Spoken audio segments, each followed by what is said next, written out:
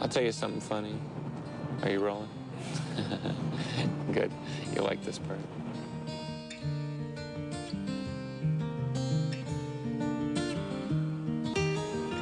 I was on stage in 1992 and I was feeling extremely disconnected from everything and everything we were doing.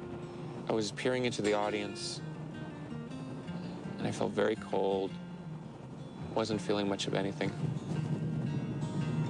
All of a sudden, it was like somebody wiped like this, like a cloth across my eyes, and suddenly the, the audience became like five times clearer and my ears opened up and I could hear the sound of the band like three times louder. Right in front of my own eyes, I, my consciousness, which had been closed down through the months of the touring, like reawakened to its full state. And suddenly I was back in full sensory overload. And the same thing happens to me all the time.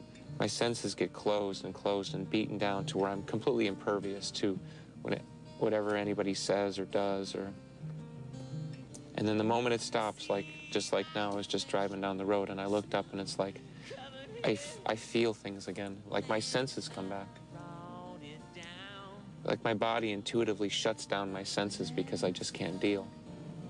And now that I'm sort of back into safe territory, you know, just a normal guy driving down a normal street, um,